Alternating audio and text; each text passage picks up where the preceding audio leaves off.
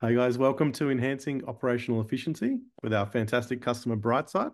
Today we're going to be talking through their journey, pros, cons, lessons learnt, um, and we'll be joined by our fantastic panelists that will conduct a Q&A in a second. Before we get there, we just do want to acknowledge Aboriginal and Torres Strait Islander peoples as the traditional custodians of our land the Gadigal of the Eora Nation are the traditional custodians of this place we now call Sydney. This week we're celebrating what we're calling WorksFest, real festival of the minds, um, hosting some fantastic sessions around Cloudwerx' point of view um, on our take of the future of how you should adopt and some fantastic use cases of the platforms we implement. Um, we've had some great sessions on Monday, some more sessions today, and at the end of the session, we'll be sharing a QR code. We'd love you to register for our sessions tomorrow um, and on Thursday afternoon. So please, if there's some sessions that you're interested in, we'd love you to jump in and love to uh, get you to join in in what we call WorksFest. Today we're talking with Brightside, but we really wanted to um, cover off and, you know, Jared and Jackson will cover this, but we deal with people and customers with lots of different types of maturity. Do we customers looking to justify the investment in a new platform, which can sometimes be daunting? So, like, what is the first use case? How do you get going? Um, we work with customers laying a foundation. Foundation. So, you know, I've made that investment in a platform, but how do I reach out and engage my different business units um, and build the the use cases and business cases for getting more adoption across my business. Once I've got that, how do I scale up, automate, create some more efficiency, um, which is really key to why you invested in the first place. And then, you know, there are more mature customers that have earmarked sort of strategic platforms for different use cases. Um, and they've got a platform approach. So when a when a requirement comes in from the business, they look at what platform might be the best to to use um, and implement that use case on. Um, they've got some strict governance around, you know, this is this type of use case. We're going to use Salesforce for that, um, and we build that into, you know, our, our release plan and future future releases. Um, got a friend who refers to, you know, special app purchases as the Audi special buys, and that's really what, you know, as a business you want to try to avoid avoid extra integrations and extra complexity. Um, so we're here today to talk to someone who's sort of been through that journey, um, hopefully avoided some Audi special buys and got some great value out of a platform they're working with. Um, Jared's been working with them over the last couple of years, so might pass to you, sir, um, to introduce yourself and Jackson. And once you've done that, I will kill the slides and we can get into the Q&A. um, so Jared, client partner at Cloudwerx, uh, been here for almost four years and uh, been working with Brightside for almost three, I think. Um, Jackson, what about you? Thanks, Jared. My name is Jackson. I'm head of projects and solutions at Brightside. Um, I, I, live up on the sunny Sunshine Coast in in Queensland, and I've been working um, with Brightside for a number of years on on platform development and um, and improvements to our business. And we uh, stumbled across uh, each other's paths a couple of years back, as as Jared had said, which was um, which was which was good timing. The question number one, uh, just like you know, thousands of other businesses in Australia or what a millions globally, Brightside is not a household may have come into contact with, but um, we haven't. Uh, not everybody knows it. Can you tell us a bit about what, who is Brightside? What do you do? Yeah, absolutely. So um, the the the long-winded answer is Brightside's an administrator of embedded device insurance and extended warranty uh, products that we operate in a number of different countries around the globe. Um, the typical kind of process is customer goes into a retail store, buys a buys a product that might be bricks and mortar or online, uh, and they're offered an additional piece of cover that might be accidental damage type cover or or some kind of warranty extension. Um, through the life of, of, of that cover, the customer has an issue that relates to that type of cover they have. They get in touch with, with us either via the retailer directly or, or to us directly. Uh, and then we go about the process of assessing that issue to determine if there's a problem uh, and we, and we can then provide that customer with an appropriate remedy based on the cover that they've purchased. Um, cool. So, so I'm a I've got a big box retailer, buy a brand new TV, take it home. Two weeks later, stops working. Um, I've purchased the additional insurance on top of the initial warranty. Chances are I call back my big box retailer. Um, someone like Brightside or, or, Brightside themselves are actually uh, off uh, are, are the, the people I'm dealing with to either get it fixed or get it replaced or have a repairer turn up at the house. Yeah, exactly. Um, so we have our network of service agents who then we allocate to that particular case. They go out, do the assessment, tell us what the issue is, and then we come up with a with a resolution. And obviously, we're here in Australia, but um, you're you're you're you're pretty broad, right? Like Brightside covers decent chunk of our planet. Yeah, absolutely. We're we're I think we're pretty close to double digits in in countries that we operate now, um, and that's all over the world in in every manner of time zone and currency and language you can think of. Yeah, a bit of like a bit of an Aussie success story, then I guess you could say. Yeah, I reckon. Um, so that's Brightside's kind of business model. What about you? What's your role, and how long you've been there for, and um, what, yeah, what's your what's your most recent role? Yeah, so um, my my team is the projects and solutions team, and so ultimately, what we do is we we get requests um, from all of our regional stakeholders, and that might be for a new business opportunity. We've got to roll out a new product, or there could be uh, additional enhancements, either their system or process enhancements based on a certain initiative that's that's occurring at any point in time. And so we uh, pick up that requirement, engage um, our development QA teams, put a solution together, and ultimately see it through to delivery.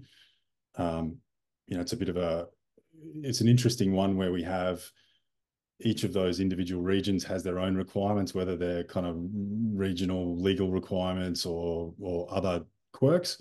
Uh, and when we get those, the goal for us is to look at that and say, okay, how do we make this as reusable as possible so that it, so that everyone can get the benefit out of it. We don't try and build specifically to requirements, otherwise we um, we end up kind of in urban sprawl territory. So it's a big part just trying to maintain the the overall kind of integrity of the product that way.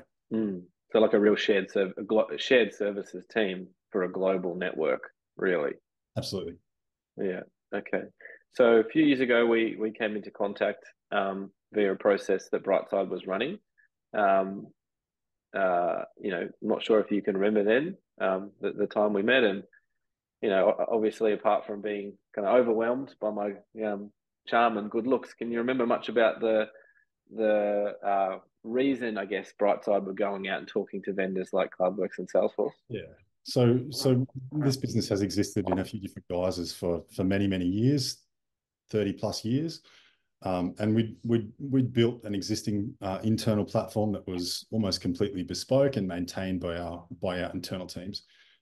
We'd gotten a bunch of the really complicated stuff right, which was which was which was great. But some of the simple stuff over time, the product was aging. It was harder to maintain. Probably a similar story to a lot of people. Uh, we had picked up a new opportunity in in another region um, where we needed to get to market really quickly and our existing platform wasn't fit for purpose for a couple of really obvious reasons, like being able to run the application in a language other than English was something that we couldn't really do very well. Uh, and so we kind of reached out, um, had a look around at the market, and said, "Right, what what what can we do?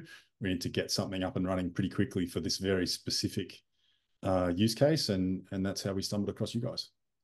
Yeah, yeah, I remember that that what you actually built was super sophisticated. It was a pretty amazing platform. And in, in a way, I guess you could say Brightside's product is its platform, right? Like you can do all these things for all these regions, and the system had been built up over time to um, accommodate lots of different requests from lots of different areas of the world, and um, you know, big box retailers, etc.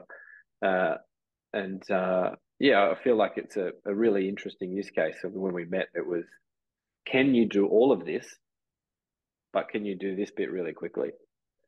Um, I think we might have had, you know, we called a pilot or a POC um, to to get something. And I guess the, the, the challenge was if it can work quickly and seamlessly here, but also future looks like it can do all these other things. You know, would give you give you a shot. Um, obviously, we're talking today, so fast forward sorry to you know, tell the ending of the movie, but you chose Cloudwerx and you chose Salesforce and MuleSoft for integrations, I should say, um, to be the platform of choice. But going back to that time as as almost like a chief product officer, chief product owner, I like to consider you.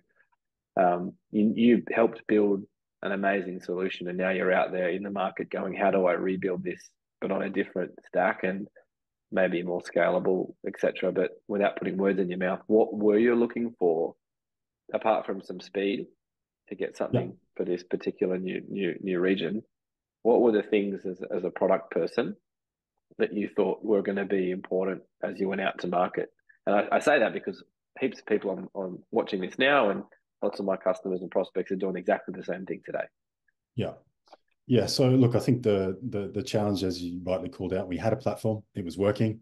Um, though there were some cracks starting to appear, and we, and we, knew that it was time to do to do something. You know, the challenge for anyone that's done a you know a decade of in-house work is that there are there's a there's an urban sprawl. No matter how no matter how much you control it, there's an element of things kind of spreading out, and you need to not necessarily take those things away when you're looking for a new platform. So we really needed something that we could build on for the next 10 years or so.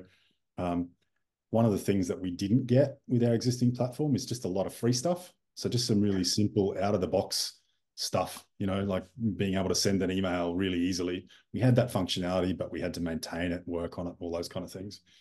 Um, so we also really needed some flexibility, I guess, to to to rebuild and retain some of those really cool things that were ours. Um, a lot of what we had built was really bespoke to us. wasn't wrong. It just it did exactly what we wanted it to. We didn't want to lose that by moving across to a new platform. Um, so really being able to continue to extend ourselves, but also be able to maintain the platform ourselves moving forward was important. Um, in order to achieve that, we kind of needed a, to find a partner that was going to help us build that, but also kind of bring us forward on our journey so that we would be able to become Salesforce proficient through that through that process. Uh, and that was important as well. And ultimately, put it all together, we needed to get it done real quick because we had a specific use case that that needed to get live um, very quickly. Yeah, yeah, it was a funny timing, wasn't it? It was like we need to rebuild this whole thing, which is huge, and fair bit of it's quite unique. But um, I think you had four weeks to make a decision, and and we had to get get cracking. Well, I think obviously things have gone pretty well, and we'll get we'll get into some of the results. Um, um, but it's certainly you know been a journey. Um, what made you choose, I guess, Salesforce on one end as your platform? And I think you, you know there was no Salesforce in the business where we met you, just a little bit of MuleSoft, which we were able to hmm. um, grow over the journey. And I think that was an interesting one. Like the right integration tool was was also on the table. Um, but what made you choose Salesforce, I guess, and then second second to that, um, oh, and and we're only a Salesforce partner, so if you had chosen something else by default, we would have not worked together. But what made you, um, you know, look at Cloudwerx as well? That without pumping up my tires, of course, our tires. You know, what was important as a partner choice? as well as a platform choice. Yeah, so look, it was, it was absolutely it was a massive decision for us, and and certainly as a as a business, the the kind of technology transformation that we're talking about is a is a once in a decade plus type thing, you know, at at at, at most, right? So that was that was really you know something that we took really seriously. Um, again, we, we mentioned it before, but timing timing was was tricky when it came to the fact that we needed to get this thing out the door real quickly to mm to to kind of make it to bring an opportunity to life. Um, we're really happy with the proof of concept that um, that that that you and the Cloudwerx team put together because it sort of demonstrated that yes, we can do this. We don't we don't need um, to continue working on our on our existing platform. This is this is a path forward for us, and that was that was probably a big moment, I guess. Um, so once we had that that that POC effectively in production, um, we decided that yes, okay, this is this is a path forward, and we uh, and we went through a short RFP process um, that ultimately you guys were successful to to to, to doing the the rest of the world rollout and and what we were. Um, you know the the thing that we wanted to be able to do is we wanted to be able to build fast, which we knew that we could do, um, but also we just needed to know that we would able be able to continue to have those customizations that we had enjoyed previously on our on our own platform. Uh, and what we saw in Salesforce was the ability to get the simple stuff right quickly, but also uh, still retaining that almost limitless ability to customize for areas where a particular business needs it. Yeah, like 100%. And, and in the financial services space, or really any space, like what you want to do is is push a customer to use what's standard and what Salesforce gives you, whether it's for financial services or retail and commerce or health or whatever. There's there's clouds available, but no one is so standard that they don't have those things about them that that need some sort of extra configuration or customization. I've seen it, Reese. You've seen it over the years that that's why Salesforce seems to be so powerful. Is, is you kind of get the best of both worlds.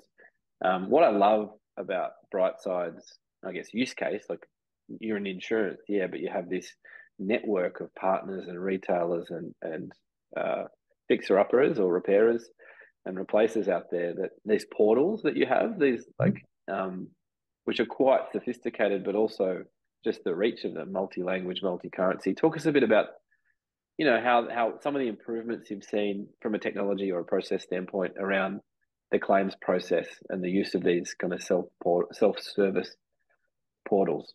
Yeah. So interestingly, um, we did have some element of. So I should go back as far as the, the our stakeholders that use our self-service portals. We obviously have our our customers' customers, direct end customers who can log into a portal and check the status of their claim or. So that's me with my TV waiting Absolutely. to see like, are you going to give me a new one? Is it going to be fixed? I'm logging in and and it's branded, right? Like it's branded, whether it could be a Brightside brand, but it could be branded the retailer itself. We'll, we'll, brand it to the retailer so that it's a seamless experience, and that's you know one of the reasons that the the Brightside name isn't as well known because we sort of sit in behind it, and it's the and, and it's the retailer that um, that typically we brand as because that's the experience that the that the customer's expecting. So we have those guys. Um, the service agents, which we've already spoken about, need to log into our self-service portal to upload their assessments um, and and invoices and other bits and pieces the actual retail stores themselves can log in and check in on things on behalf of their customers. And we also have some use cases for our insurers who are ultimately the the, the very back of the house where um, they they kind of underwrite the whole thing and and and are a very important part of of our ecosystem. Mm. And they can um, get like a macro look as well, can't they, on how they're the, the holistic policies versus claims versus and sometimes there's decisions that they need to make too. So so that that's kind of operationally embedded in into the process now which is good. But we had some of those things already. We had an element of a service agent portal in our existing platform and that was that was working more or less.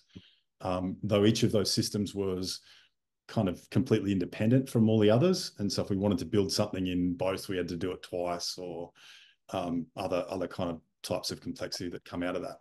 And one of the one of the anecdotes I share was one of the things when we talked through those self-service portals with our internal stakeholders was one of the questions was asked, yes, but how long does it take for the data to sync back? Uh, and that was just purely based on the existing experience of you know existing systems would sync data between each other and all those kind of things, which um, certainly works. But the question was asked because this was a this this was a different platform, and the reality of those self-service portals in Salesforce is that it's one set of data. It's all based on the same database, and a change made in one portal is immediately visible in the other. Uh, and so that's just a you know something that maybe gets taken for granted, but was certainly something a, a little thing that made a difference to our to our internal stakeholders that they and, well over, and over time i guess for you guys who manage the platform less integrations the better right like if you can integrations are a necessary thing in all systems, but if you can limit them to the absolute necessary, that's more easily maintained, right? That system. We for sure we'd use integrations to integrate from our left hand to our right hand, I guess, um, which which is maybe not not something that's certainly what we've experienced today is no longer necessary. And then we just save integration for what's actually for, which is to integrate with external entities that are on completely separate platforms. So we spend our integration dollars now more on dealing with service agents and retailers and insurers uh, as we should. Mm-hmm. And those, um, what have you what have you learned about reusability since you've kind of jumped on the Salesforce kind of bandwagon. But I'm thinking internal components, but more external components. Like we talk about the the customer facing or the service service agent facing portals. Um, we've spent a lot of time looking at componentry, right? Like what what's the best bang for buck, and how can we reuse these things? Like, is that has that been a, an exciting part or an important part of the journey?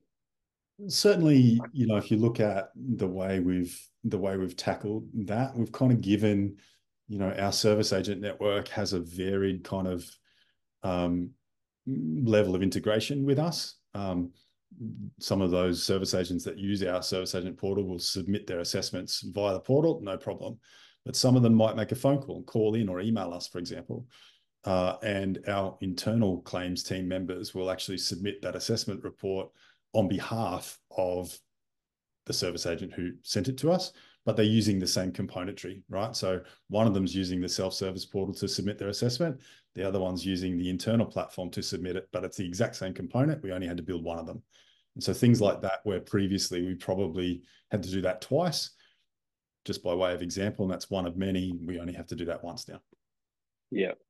Yeah. So we're talking about the self-service portals, and I, have loved some of the, the the demos I had over the over the years where, you know, it, it sounds simple, I guess now, but being able to log in from a different country means your currency and your language is just different automatically. Whereas I guess you mentioned at the start, that's one of the custom things that were hard to replicate that Salesforce offers um, its users and you know be able to clone and rebrand and, and all that kind of stuff. I think there's just so many benefits there. But from a service agent point of view, what were some of the benefits? What what are some of the benefits or the benefits to yeah. the team that you've started to see? Well, the service agents, I think, um, again, the fact that they we can kind of customize how we deal with them based on their the volume that they do, the level of engagement we have, their technical um, integration capability. So we can start, you know, at the at the the simplest one of, hey, we're just going to send you jobs and you can just email us in your quotes, no problem. Then we move on to the portal if that's what you want to do, because that, you know, we get the benefit of some automation around being able to provide you faster turnarounds on approvals and things like that.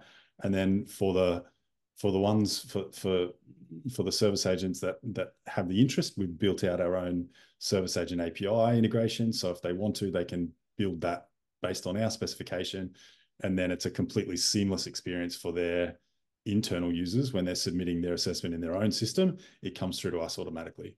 So I think having that kind of, I always think of it as like a menu list and say which you know here's our here's what we've got available. Which one do you want? Makes that a bit easier to kind of onboard new service agents into into that network. And the same thing goes for retailers as well, where we need to get um, data from them in, in, with regard to customer purchases that we need to cover. And that might be done via B2B integration, or it could be done via file exchange or, or a few other different methods. And we just choose whatever, whatever makes the most sense for that particular opportunity and make that happen. So really, I guess it's just having the flexibility to integrate with um, a bunch of different people via a bunch of different means has made has made things a bit easier for us. Um, and as a business that is you grow by new new business essentially like you, you you go to a new region or a new retailer or a new insurer that, that you work under. It must be your your sales team or business development team i know having spoken to them by having this like bag of tricks or set or options means it's a lot easier you're a lot more enticing as a new, as a as a company to work with. Like we have this we have that we have that. Which which benefits you? Which which is the model that your customers want we can do all three of those things. And it's already built right? Like you can uh, service those requirements more easily.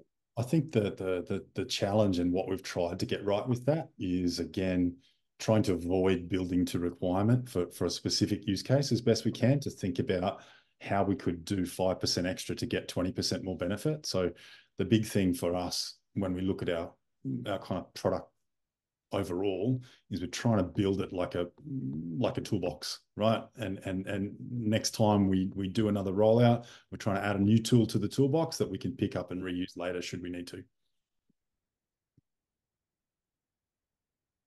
Sorry disappeared.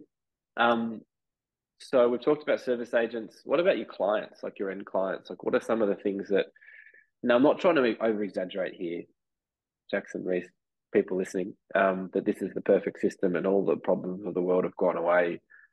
I think it, it has been a journey, and we'll get to some of the challenges sure. in a second. And uh, I'm not saying that everything is perfect, but um, I think a lot of the benefits are to come now that st- it's stable and working and, and global and et cetera, et cetera. But some of the benefits to the client just by the, the, the newer features on newer technologies. Can you give us a, a summary of some of those? Visibility is a big one. So for all of those, and and you know we have a we have a varied definition of customer, but there's there's the retailer customers, the service, you know, all, all those external stakeholders. But but just clearer visibility of what's happening is um is reassuring for um, for someone out there who's got an issue with the product or more more they need you know an update or whatever. So um, making sure that those portals are always up to date with the latest information is is really critical. Um, so that's that's the that's the customer benefit. Um, I'd probably also say, uh, and it took us a little while to get going. You know, moving on to a new platform, there were some challenges just overall with regard to efficiency because we went from a very old platform to a very very new one that that you know had some had some challenges in the early days, but certainly now that we've been on platform for a little while now, um, we're certainly starting to see some efficiency gains in the actual processing um, of those of those outcomes for customers, and and the net result of that is faster turnaround time on without my broken device for a little bit less time, and that's ultimately one of the one of the best ways we're measured. Um, and and our claims teams have have started to see some of those improvements now as well. Awesome.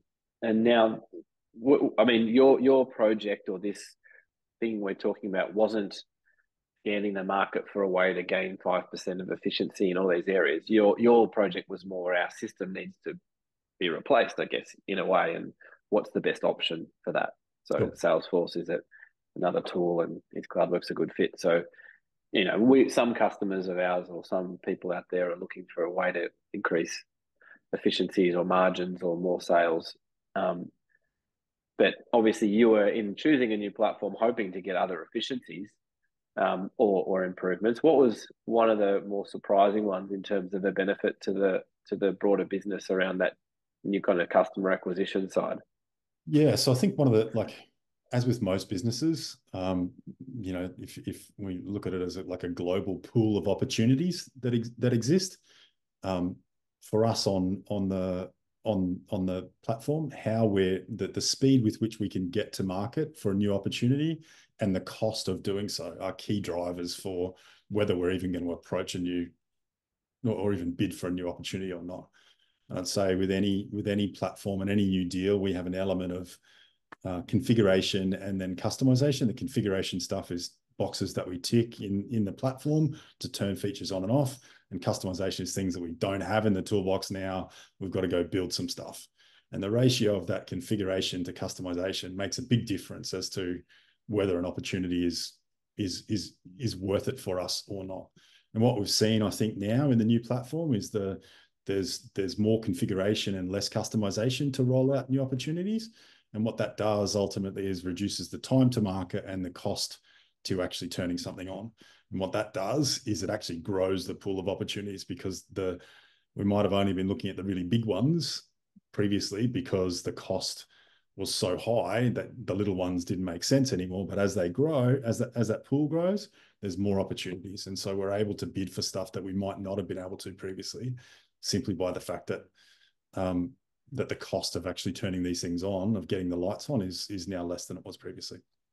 Yeah, which is amazing. Like as a as a your business development team around the world, they've got well, I can only you know our, our target market has gone from this to this because I can now onboard a new range of clients more easily. You know, Jackson and his team in six weeks or two weeks or 10 weeks or whatever are able to do the tick boxes, like you said, config, mm-hmm. a little bit of customization and, and get someone in. And I think when we first met, that was quite difficult. In fact, the pilot we started with originally, going back to the beginning of the story, was just because I think that particular opportunity said if you can't do it in X amount of time, we're not interested. And you said, mm-hmm. yeah, we can do it.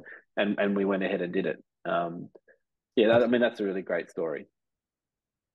Uh, and then in terms of the, like the translation engine, I guess geographically, you know, there are also more parts of the world you can work in now too, right? Yeah, so that was, that was a key part of it for us was the fact that um, obviously there's regions where English isn't spoken, and um, we're, we're able to translate the entire application, not just the internal application, which is used in in in some regions, but all the portals can be translated and have been translated into multiple languages. Um, we've we've got an engine for translating emails and SMS communications, so all of those things can be can be sent in local languages. Uh, and that just again, there's there's things without that, there's doors that are not open, uh, and so yeah. the fact that we can do that makes makes a big difference. Now, as a company that had its own internal team, and you built that up over the years, um, both in Australia and other parts of the world, and, you were iterating on your own platform. Um, one of the things that we, you know, wanted to make sure happened over the over the course of our journey that they were uh, upskilled, reskilled, cross skilled, I guess, and that you know Brightside wanted, as they had in the past, to own your own destiny in a way. You wanted to be able to have control over the platform. You wanted to um, be able to co-develop with us mm-hmm. eventually.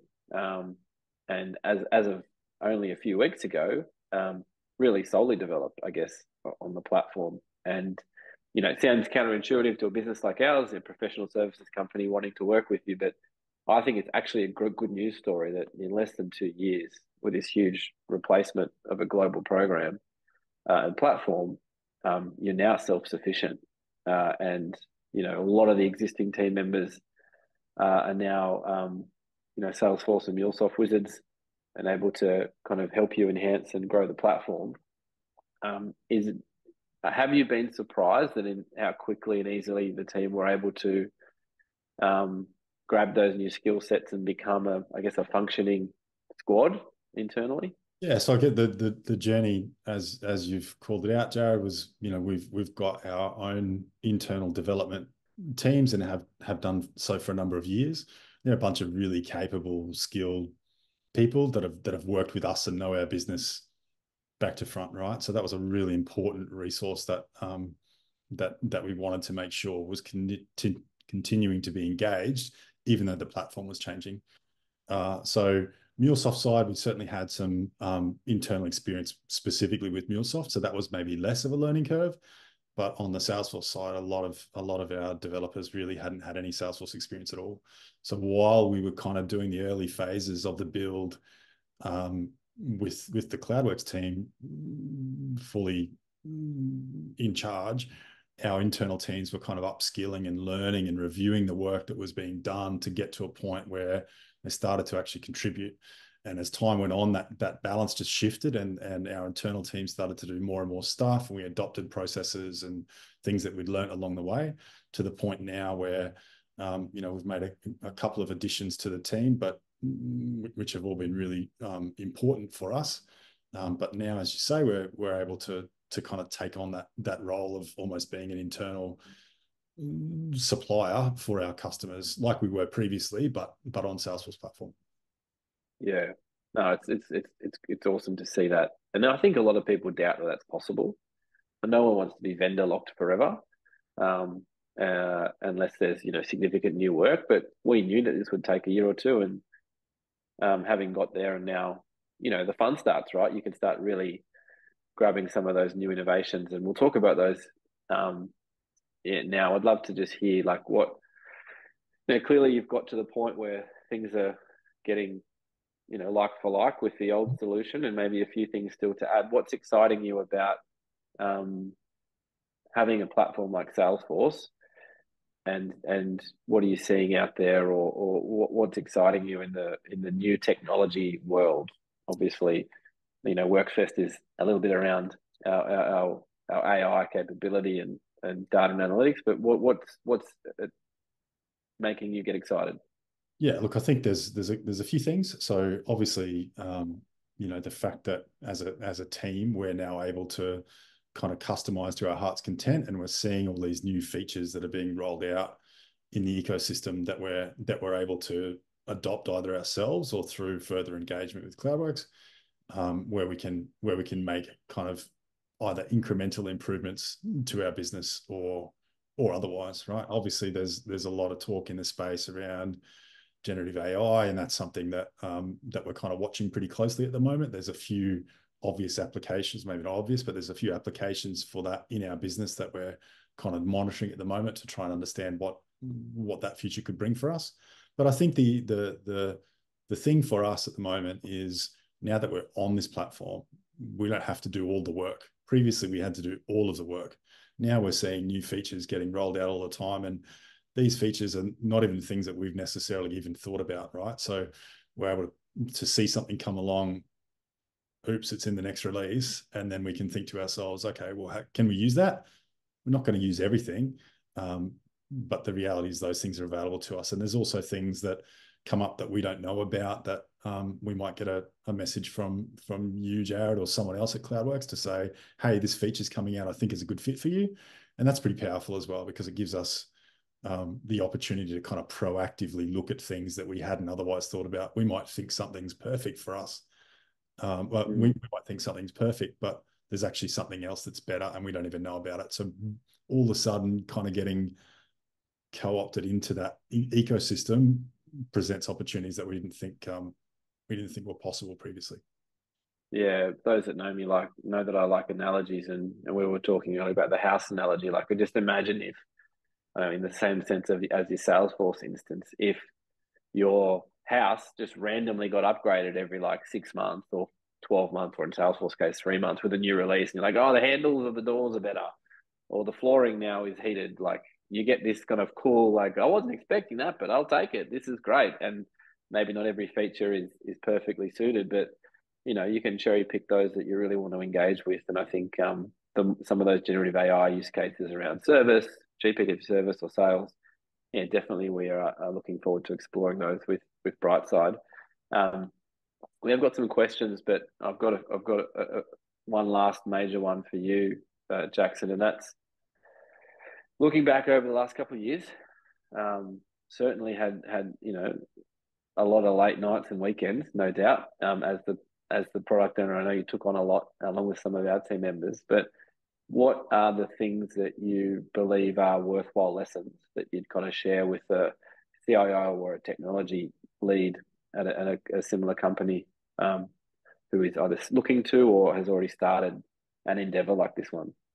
Yeah, a couple of things come to mind. I think um, first and foremost, I'd say if, if if you think you've done enough change management work, you haven't. There's there's there's always there's always there's no such thing as too much of that, right? And and certainly um, how we had to roll this product out over a number of different regions while still building as we were going. You know, we had regions that were on the platform that still needed change management for the new features that were being deployed even after they'd gone live, right? So it was this big kind of this tr- moving train of delivery along the way. Uh, and so, um, you know, it's it's it's hard work when you're dealing with people in multiple regions and time zones to kind of get that change management stuff right. I, I think in, in retrospect we could have done more. We did we did as best we could, um, but there's always more to be done on on that front. Um, and and certainly. Uh, when you're on the journey all the way along, it's hard to put yourself in the shoes of someone who is a user of the platform that hasn't been on the journey, uh, and so that's that's really tricky. Mm. I'd say if you're to, if there's a data migration um, that needs to be done, then it will keep you up at night, no, no matter what you do. Um, that was, you know, if if if you get that wrong, that's when things can go pear shaped. And we worked really, really hard. It was like a whole separate um, channel of work through the whole project just on the data migration to get that right. And we had a pretty much a separate team working on that. Uh, and that evolved as well. Every release, there's new components for the data migration. So it had to go iterate, iterate, iterate. So that was tricky as well.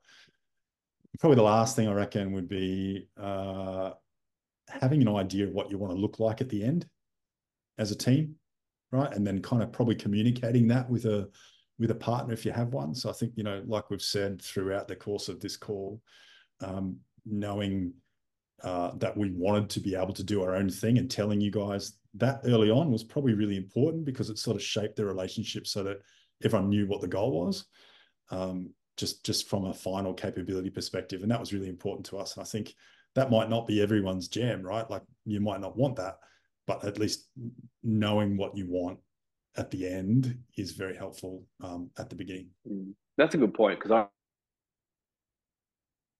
I think we got about halfway through the, the, the course of the journey, and you guys started to co-own or, or even own certain streams of work. And our team like, well, the Brightside guys are doing this over here, and we're doing this over here, and they had to merge the streams. You know, the release management, the DevOps processes became a bit more of a challenge.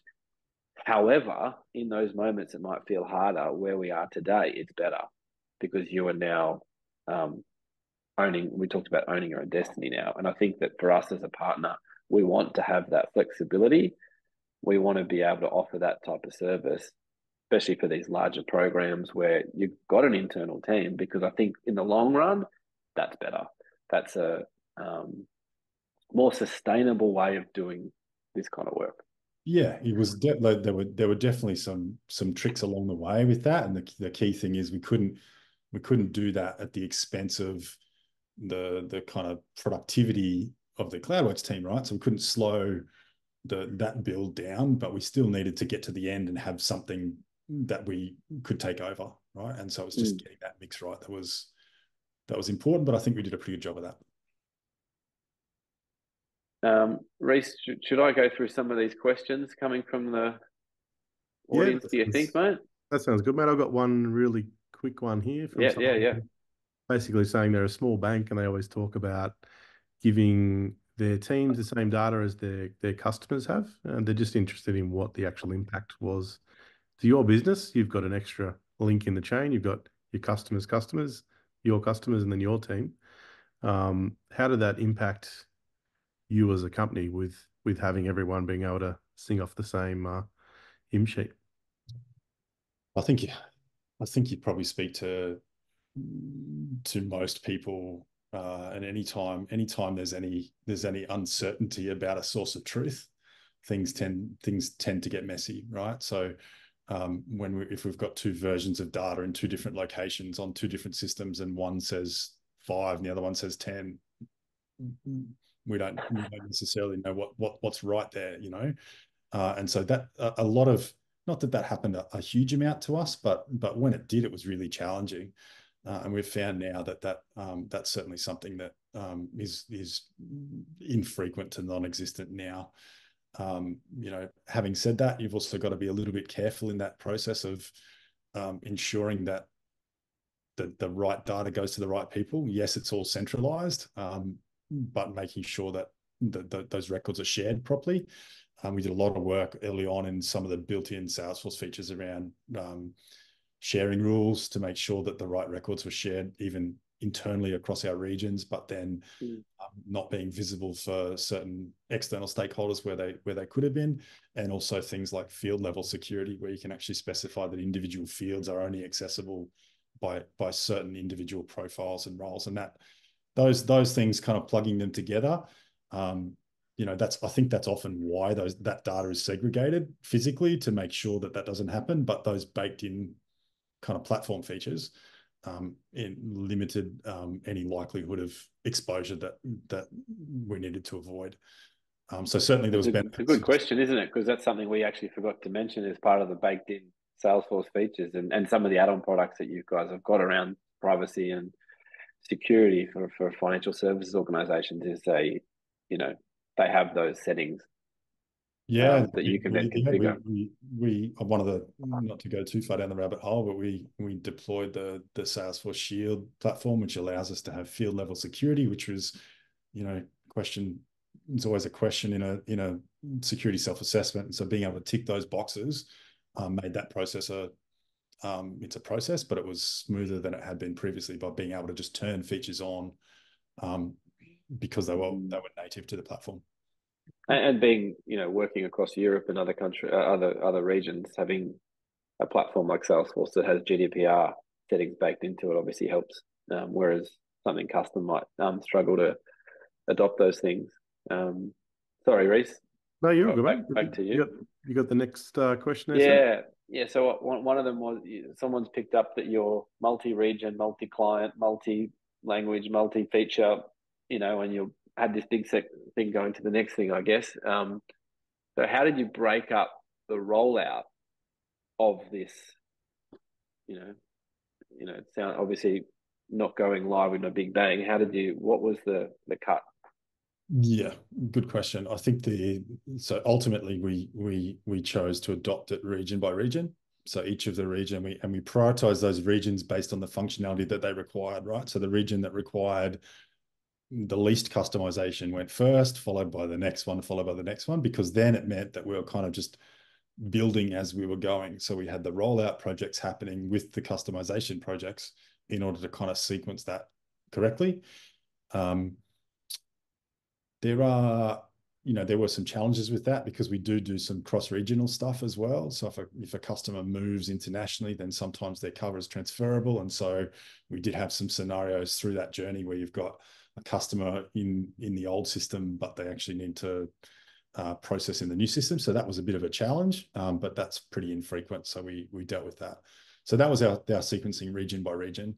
Um, I think it was the right way to do it for us because it also meant that's typically the way the call centers and the service agent networks are organized. So we didn't want to have a situation where our service agent um, had to deal with transactions in two systems at the same time. And so that was that was one of the kind of decisions that we made that we said let's break it down that way.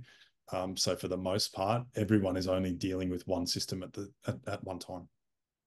Yeah, because I remember the biggest region, which will go nameless, was the last one. But by the time you got to it, you eighty percent or something of what that needed, and it, it didn't feel like so much of a mountain if you had gone with them first, right? Yeah, look, I think it's it's it's one of those things where the the largest region had the largest amount of customization as well, so it was kind of the the culmination of everything. Um, but there were it, it wasn't didn't didn't make it a piece of cake by any stretch, but it was but it was but it was certainly that was that was helpful because we are also kind of in a way semi semi piloting some of those new features. These features were actually stress tested in some of the smaller regions earlier. Um, yeah. Um, so so it wasn't like a cold deploy with everything brand new all at the same time. There was certainly some new stuff that went in for the final for the final launches, but a lot of stuff that we'd already done previously that we knew worked because it had been running in production for for many months. Um, okay, I've got another one which I think is talking about um, customizations, and and you mentioned your existing system was really good, but needed needed replacing. Um, what are you glad in terms of all the priorities you could have focused on? What are you glad you focused on? And then what was the things that you couldn't focus on initially, and what was the cost of that? Yeah, so you know what? Like a, a I can't even sort of speak to specific features. Um, but I think the one thing that was the most important thing was getting the data model right.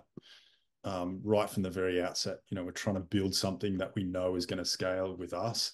And if you get your data model wrong, that is just hard work from from the outset, right? So we spent a, a significant amount of time both internally kind of soul searching to try and get that right and then kind of passing that back and forth between ourselves and Cloudwerx to see that um, to see that we'd gotten that right and for the most part i think that we did um, and i think you probably that's something i would never recommend under investing on because you get it back without having to redo stuff throughout the journey because you got that right from the outset. So some of that real foundational stuff is important. As far as things that uh, that we struggled with um, certainly, you know, I would I would observe that uh, a significant percentage of the features that we had in our existing platform are in the new platform, and they're uh, incrementally better, which was which was one of our measures of success. There are some things that aren't quite as developed, uh, and so there was probably some areas that we could have given a bit more attention to. But what we've found is now they're on platform, we're trying to incrementally improve those as well to get them um, ahead of where they were previously. Um, so certainly, you know, some areas that we that we got right, some areas that we're never getting get them all right, but some of them that we can still improve on. Um, but but absolutely, that that initial foundational work of getting the model right is really key. Mm. Um, looking back two years, are you glad that you did this project, not personally, because I know that you you are you're only 20 years old. Look, and and you know, it's been a long two years, but is a business um, happy Yeah, we we had, to, we, we we had to do this, right? Like I think at the at the end of the day, um, we were in a position where uh, the platform as we knew it was becoming progressively less stable and so it was a thing it was a thing that that needed to happen as well as opening doors that um, that were as i said before previously closed to us um, but i think that was you know it was it was a hard slog and i think certainly uh, some challenges for everyone it touched everyone across the business the the platform that we replaced was effectively the central nervous system of brightside right so everything connected to it or or relied on it in some way and everyone's going to have a system like that al- along the way.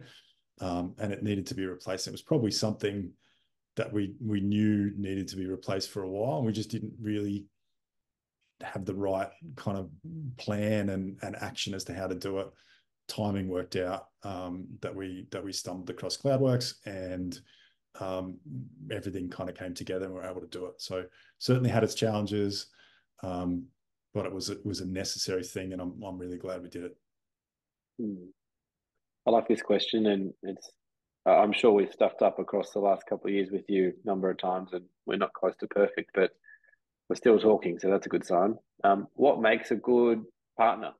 So we've talked about the, the, platform a lot, but what what do you think make now that you've done this for a little while? What do you think are the most important things um, in a partner relationship, Salesforce partner relationship? Probably uh, getting us getting someone that will actually get into the weeds and try and figure you out. Every business is unique and has its own has its own quirks.